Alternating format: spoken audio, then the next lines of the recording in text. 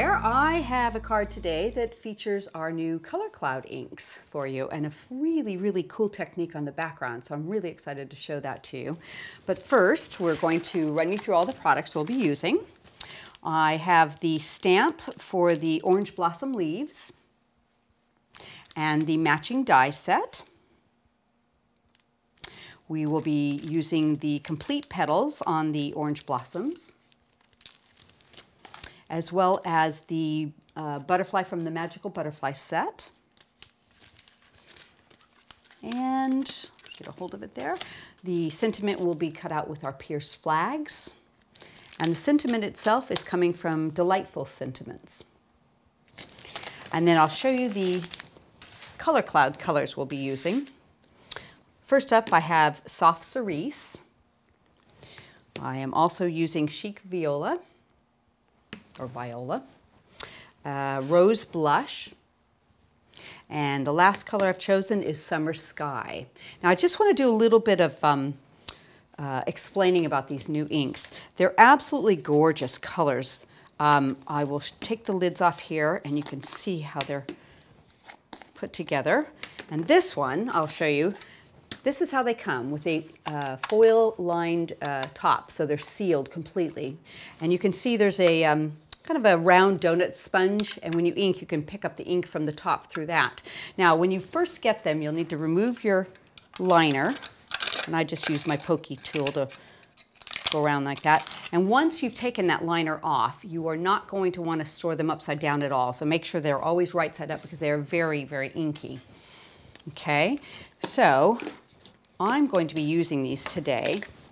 Let me move them to the side with our new uh, smoothies. And these come two to a pack, and they're latex um, sponge sponging balls that are completely rounded on the bottom so you don't pick up any edges. And then you've got a little tip you can use for like getting into fine areas, which is kind of nice, but it also gives you something to hold on to. So let me show you what I've done on this background to start. I've just taken a piece of uh, coconut white card and ordinary tissue paper, okay? Done a little bit of crumpling up and what I'm going to do is tear into some pieces. Doesn't matter what size, what shape, just do a little bit of tearing. Okay. Using the uh, Cosmic Lacquer, I'm going to put a little bit onto my card. And I'm just going to do a section of this because I have one already finished. But we're going to just pop these into place and give them a little bit of wrinkling. You can use a little bit more, and the lacquer will act as sort of a glue. Okay, pop that down. I just use my fingers when I do this, so it is a little bit messy, I have to admit, but it's really nice, and it's sort of relaxing too. Pop that down, and then you're gonna maybe have to lean underneath it to catch the edges and make sure it's down really nice and good. I'll do a little bit more here so you can sort of see it. It's fairly quick in the, um, the makeup of it. You overlap it and just, you can make, make it even go off the edge of the page and then you can um, trim it with your paper cutter when it's all dry. A bit like this. Give it a good scrunch. Tear a few more pieces and we'll add a tiny bit more. So you can see there's no right or wrong to this. All right. Now, if I have any what I call really dry areas, then I'm going to go over the top and add a little bit and kind of work it in with my finger and just start to get some uh, texture to it, okay? So you can sort of see how that's coming along. Now this will need to dry, so you leave it overnight, and tidy this up, and what you'll end up with is a piece that looks like this.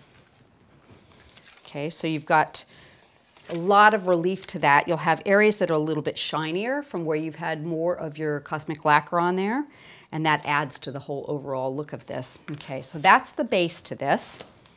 Next, we're gonna move on with the color clouds. So I'm gonna bring in my smoothies, and doesn't matter what color you start with, this is the rose blush, and you can see I'm just giving it a pounce so you get the color on there, and we're just gonna add some color, just randomly. Bring in the summer sky, this is a beautiful blue. A few more pounces, and just create color all over the background. The soft cerise, it's a little bit darker, and that'll give you some depth. And then the chic viola. Add some more here. And I like the contrast with the dark coming in, so I'm going to add just a few extras of those all around. So you kind of want to make sure it's all covered. So you can go back through with some of your other colors and add in areas here. There is no right or wrong to this, and every time you do it, of course, it's going to look completely different. Now, what I'm going to do is take a, um, little spray bottle with some water and just give it a, a light misting. Okay, so your colors will start to run and you'll get a little bit of blending. And depending on how much of that you want, you can spray or add a little bit more water. So it'll take away that distinct edge from the, um, the roundness to the colors. There we go. And just let it kind of all go together. You can let it do a little bit of rolling around on your background there. Okay. So I like the way that's starting to move about a little bit. All right, so next you're gonna bring a heat tool in and give it a good dry.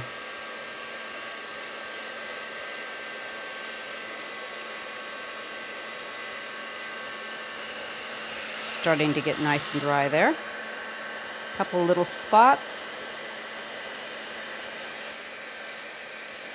There we go.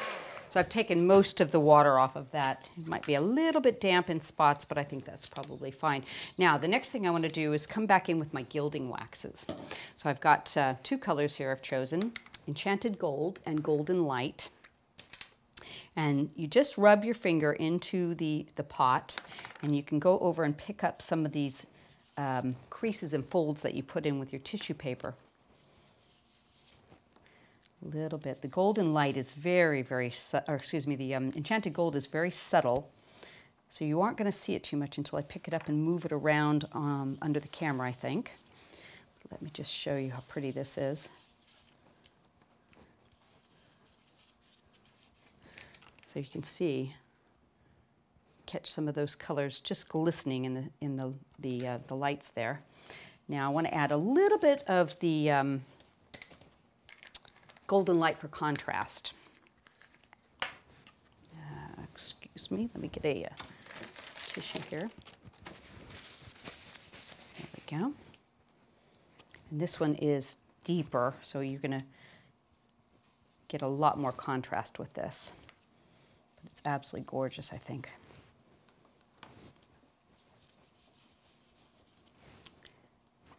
Just hit the tops of all that tissue and you get that really pretty veining come through. It almost looks like a marble piece when you're done. There we go. And the other thing I want to do is go around the edge. Just do a little bit of a tipping with the gilding wax all the way around the edge to kind of bring it out. There we go.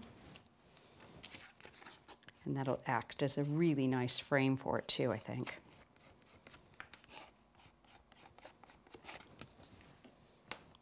Bit more.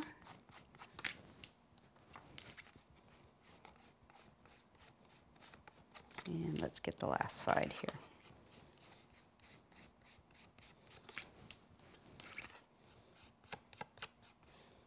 There we go. So you can see how pretty that is. And I just put a little bit extra from my finger around the top here. Okay.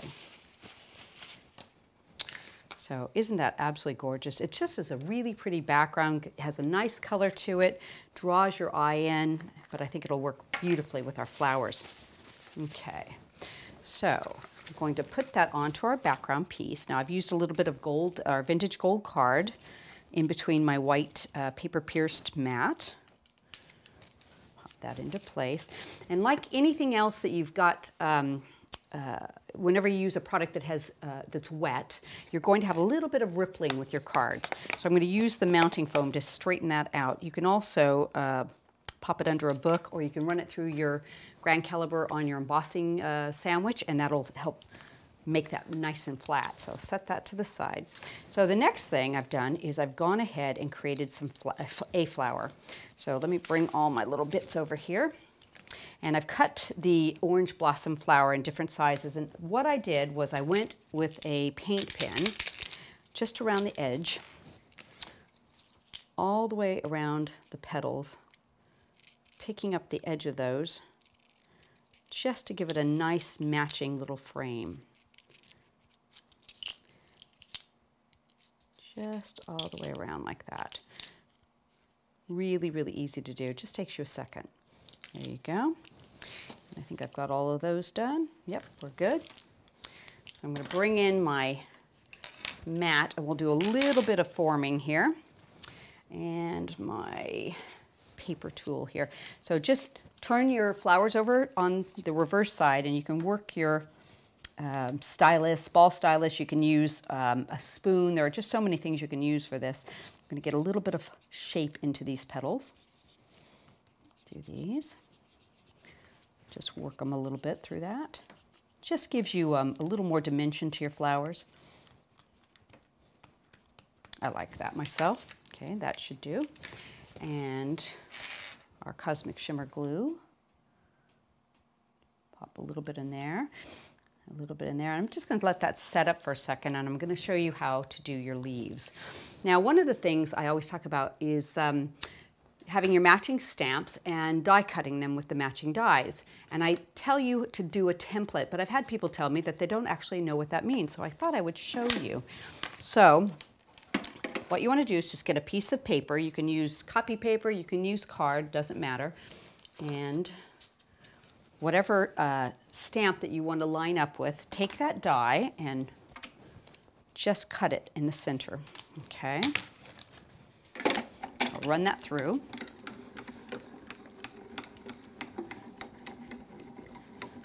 There we go. Pop that out. Now I also have a die cut from that I can use later, but this is what I'm going to use for my template. So I've stamped and embossed in gold the same uh, matching stamp to this. So what I'm going to do is layer this over the top, pop it into place so it lines up just perfectly, and then tape it all the way around the edge so it stays exactly where it's supposed to. There we go. Now this one's got a little piece in here that um, comes up a little bit, so I'm going to try not to uh, wiggle that too much. And then I'm going to pop that right back into place and just give it a little wiggle so that you know it's in the same exact spot and then tape it down. Okay, and we're going to run that through the Grand Calibur to cut our leaf out. When you have dies that are solid and you can't see through them, this is the perfect method to do. And you're sure you'll get the exact cut area that you want. Pop these around. Now, you also want to keep these so that you can use them later. So I always suggest putting them in a little notebook that you can just have all your masks and dies or your um, templates in. So keep that to use time and time again. And then this should pop right out. You just get it. There we go. Got it caught. Okay, and you can always save that for a template later too. So now I've got a perfectly cut leaf that I can use that matches. All right, so let's put our flower together. I'm going to offset those so it'll fill in. Give that a second to catch. There we go. And then I've actually done a couple of the, um, the smaller ones and layered them up. So I'll have one large flower here. Just really pretty layers. And let's say, let's turn it like that. I'm going to hold that just a second so that the glue catches. There we go. That should do it. Okay. We'll bring back our background. I've stamped my sentiment and I've embossed it in gold and I've used the Pierce flags to do a white and gold layer. So I'll put this into place. And because I've got some of the gilding wax there, I'm going to go ahead and add some glue to the back of this so I know it's going to stay nice and secure. Place that right about like that. There we go. I'm going to seat some um, white tulle underneath my flower as a little bit of an accent. Pop that to the side. Oops. Here we go. Give that a second. In fact, I'll add a tiny bit of glue under that too, just to make sure it's going to hold. And a little bit of a gold thread. I like having just a couple different accents on underneath my flowers. I think that's pretty. There we go. Give that a second. Oop. That looks like it's caught think we're good. We'll check that. And I'll add my flower. Now I did uh, use the tiny little uh, stamen uh, die that's in the Orange Blossom die set in gold here, right in the middle of my flower. Isn't that pretty? So let's put that on with a glue dot. There we go. Pop that over the top of that and add our leaves. Now the leaves you can also bring back your mat and you can do a little bit of shaping with this. Just take a, a round uh, ball stylus and add a tiny bit of, just gives them a, a little bit of roundness to them, gives them a nice look. And I've got a couple here we can do.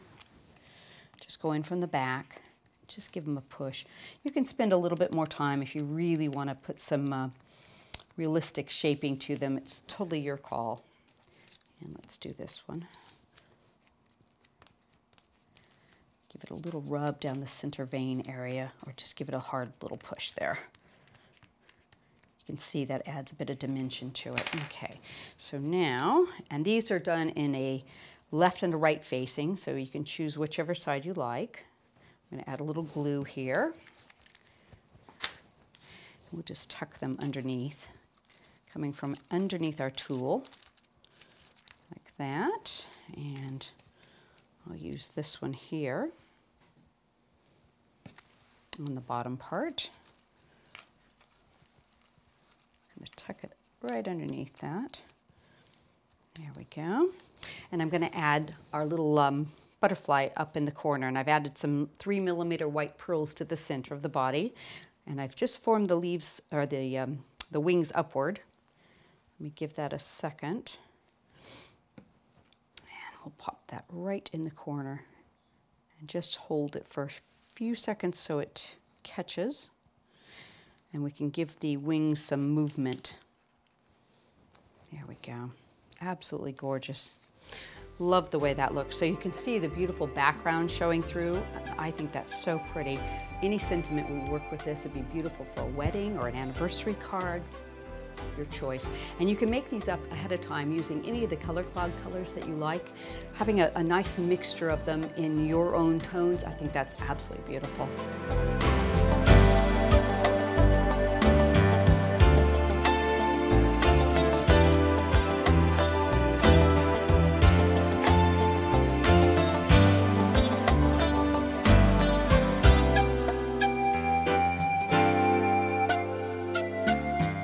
I hope you've enjoyed today's video and you'll check back again with us soon. We have so many videos on our YouTube channel.